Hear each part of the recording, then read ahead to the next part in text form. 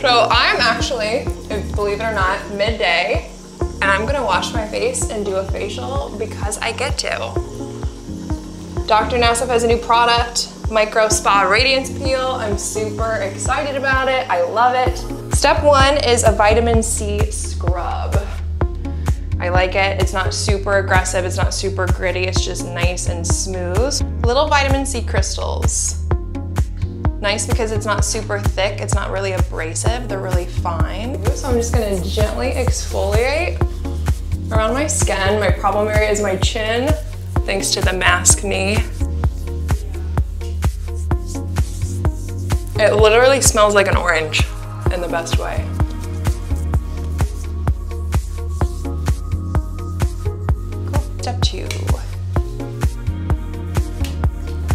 Okay, so I just gently exfoliate with the vitamin C crystals is step one. You don't rinse it off. Step two is our lovely AHA BHA gel. So I'm just gonna put some of this in between my fingers and I'm just gonna continue to slather and exfoliate this on my skin. So this is a nice combination of a manual exfoliation with the little vitamin C crystals and a chemical exfoliation with the AHA BHA gel. This is the moneymaker.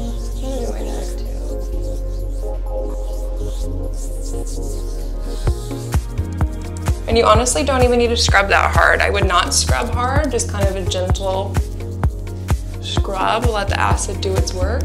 Nice thing about this, if you can't get in for a microneedling, don't want to do downtime, can't get in for a hydrofacial, I literally swore that my skin felt the same as after I just got a hydrofacial. So really nice, smooth, you can't mess it up.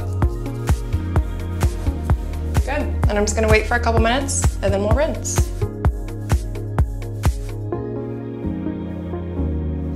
To do now is just rinse it off.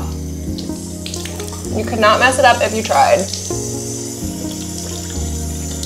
Mmm.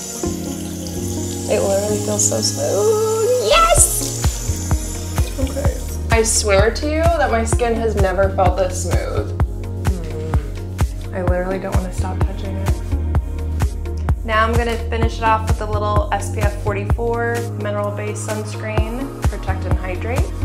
I love this sunscreen. It's mineral based. It's great for post-procedure. Has a really subtle little coverage to it. It's basically just my skin with all the maskne post micro radiance peel and a little bit of sunscreen.